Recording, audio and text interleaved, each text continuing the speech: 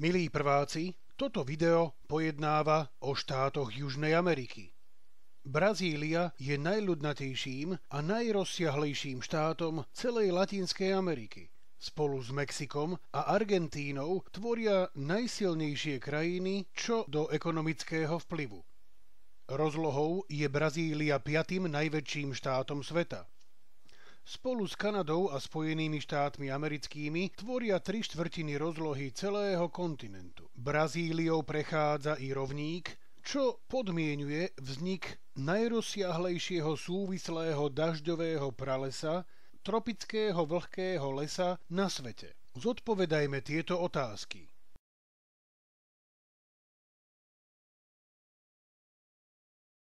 Správne, Amazon a amazonská nížina je obrovským regiónom s najväčšou biodiverzitou na svete. Na rieke Paraná sa nachádzajú i najväčšie vodopády v Južnej Amerike, a to Iguazú. Guajanská vysočina alebo Brazílska vysočina vytvárajú najrozsiahlejšie horské oblasti na severe a juhovýchode krajiny. Na týchto dvoch mapách vidíme, že tropické vlhké lesy, ktoré sa nachádzajú na oboch stranách rovníka vo vnútrozemí Brazílie, pokrývajú približne jednu tretinu celkovej rozlohy krajiny. Veľkým problémom je v súčasnosti však odlesňovanie dažďového pralesa s cieľom získať čo najviac dreva, následne ho vyviesť a predať na svetových trhoch. Vyrábajú sa z toho hudobné nástroje, nábytok a množstvo luxusných tovarov a doplnkov. Najväčšou stratou je však strata biodiverzity, kedy amazonský dažďový prales hynie a nenávratne sa stráca. Príčiny odlesňovania Amazónie vidno na tomto grafe. Ide najmä o získavanie nových pasienkov pre chov dobytka, ale tiež nové plochy pre samozásobiteľské poľnohospodárstvo – Ťažba dreva, požiare sú ďalšími faktormi, ktoré prispievajú k deforestácii Amazónie. Na týchto fotografiách vidíme, ako veľmi sa zmenila amazonská nížina a amazonský prales vplyvom činnosti človeka. Obyvateľstvo Brazílie sa koncentruje najmä na východe a juhovýchode krajiny. Vo veľkých mestách sa koncentruje väčšina obyvateľstva a hlavným jazykom je portugalčina, čo je dedičstvo portugalského kolonializmu v minulých stáročiach. Podobne ako ostatné krajiny Latinskej Ameriky, i v Brazílii prevláda rímskokatolícke náboženstvo. Na tejto mape vidíme, že Rio de Janeiro, São Paulo a Belo Horizonte vytvárajú akoby najľudnatejší trojuholník mestských sídel v Brazílii. Zaujímavosťou je, že hlavné mesto štátu bolo postavené až v roku 1956 prakticky na zelenej lúke. Socha Ježiša Krista symbolizuje Rio de Janeiro, podobne ako husto zastavané centrum mesta São Paulo. Karnevaly, samba alebo capoeira to všetko sú neoddeliteľné charakteristiky Brazílie. Na predmestiach São Paulo Rio de Janeiro, ale i ďalších latinskoamerických miest nájdeme množstvo slamov, tzv. favel. Favelas alebo slamy predstavujú úkryt pre milióny najchudobnejších obyvateľov. Pláž Copacabana patrí medzi najnavštevovanejšie pláže celej Latinskej Ameriky.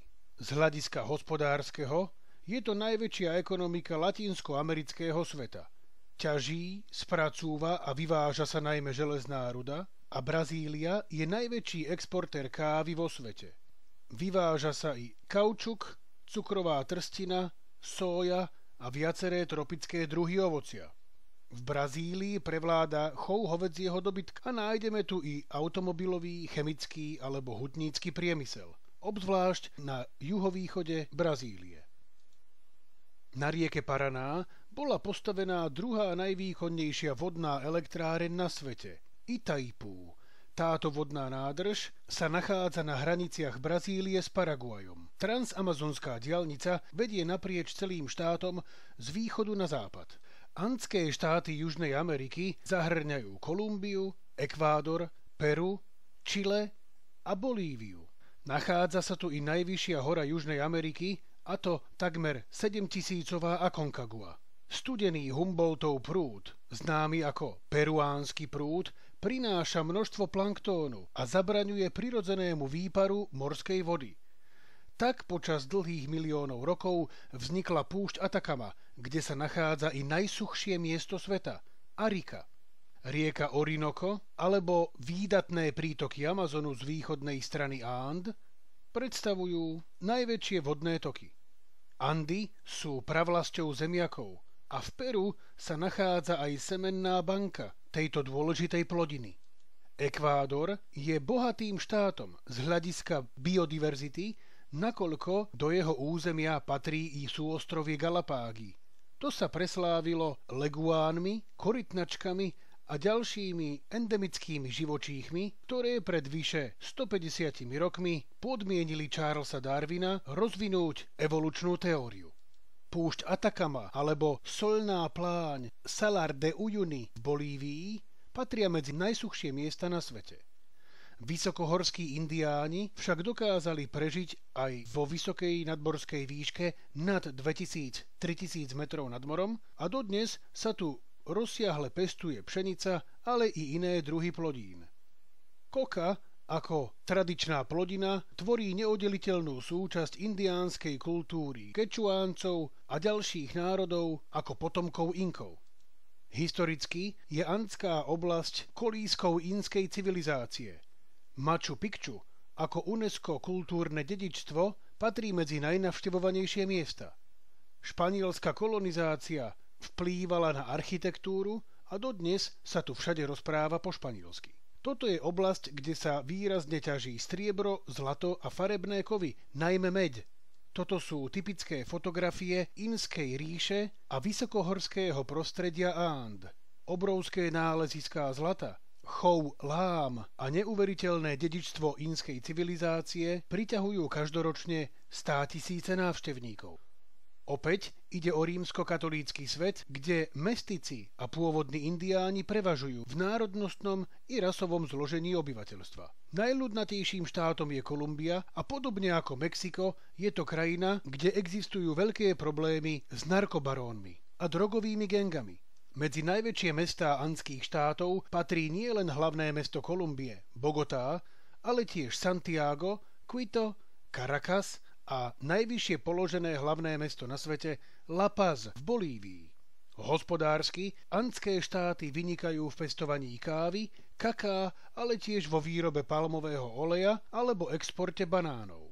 Venezuela je obzvlášť bohatá na veľké zásoby ropy a zemného plynu. Z nerastných surovín, okrem vzácných a farebných kovov, prevláda i ťažba ropy alebo liatku. Na južnom konci pásmového pohoria Andy nájdeme neuveriteľné prírodné krásy, formované ľadovcom. To podmienilo vznik tak významných národných parkov ako Torres del Paine alebo Los Glaciares. Veľkonočné ostrovy, ktoré politicky patria Čile, zanechali dedičstvo vymretej civilizácie na ostrove Rapa Nui. Laplacké štáty zahrňajú rozsiahle krajiny medzi Andami a Amazóniou. Ide o Paraguaj, Uruguay a Argentínu. Patagónia je názov pre najjužnejšiu časť Argentíny, veľmi nehostinnú a veternú oblasť divokej prírody Južnej Ameriky. Argentína s hlavným mestom Buenos Aires patrí medzi ekonomicky najvyspelejšie krajiny celého latinskoamerického sveta. Vo východnej časti prevláda rozsiahla Laplacká nížina, obilnica sveta, nazývaná tiež Pampa. Práve Pampy Južnej Ameriky sú vhodnými oblastiami pre chov dobytka, v ktorom vyniká Argentína spolu s Brazíliou. Ako už názov tejto krajiny napovedá, v minulosti sa v tomto štáte vo veľkom množstve ťažilo striebro. Na juhu Argentíny nájdeme Tierra del Fuego, ohňovú zem, najjužnejšiu časť Južnej Ameriky. Falklandy alebo Islas Malvinas sú dodnes sporným územím medzi Spojeným kráľovstvom a Argentínou. Rieka Paraguaj a Paraná vytvára rozsiahlu nížinu na ktorej sa pestuje nielen kukurica a slnečnica, ale i množstvo druhov obilnín. Patagónia patrí medzi najnehostinnejšie časti planéty Zeme. Okrem obrovských ľadovcov a rozoklaných skalných masívov tu nájdeme len málo lesného krytu a typ krajiny tu pripomína skôr tundru než severské lesy. Drsná klíma ohňovej zeme zabraňuje ďalšej kolonizácii. A gaučovia sú symbolmi juhoamerických argentínskych koubojov hovedzieho dobytka. Obyvateľstvo sa koncentruje najmä v rozsiahlej nížine okolo rieky Paraná a Paraguaj, pričom veľká väčšina žije v mestách. Za zaujímavosť stojí, že v tejto 40 miliónovej krajine žije mnoho miliónov potomkov pristahovalcov z Európy. Prosím zodpovedať tieto štyri otázky.